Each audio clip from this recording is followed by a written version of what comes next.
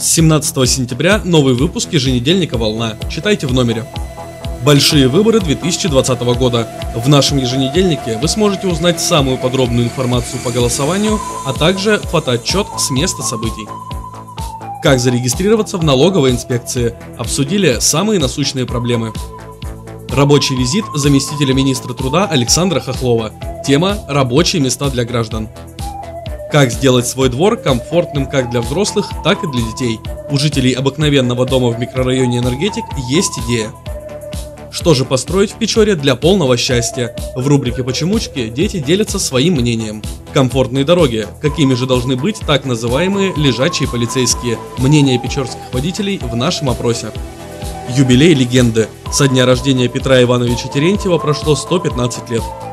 Нашли на страничках еженедельника фирменный синий штампик. Поздравляем, вы стали обладателем 500 рублей от нашего еженедельника. Как всегда в номере, кроссворд, сканворд, гороскоп, программа телепередач на неделю, детская страничка и, конечно, объявление. Вы всегда можете купить, что вам нужно, и продать, что не нужно. И помните, наш еженедельник – газета постоянных конкурсов.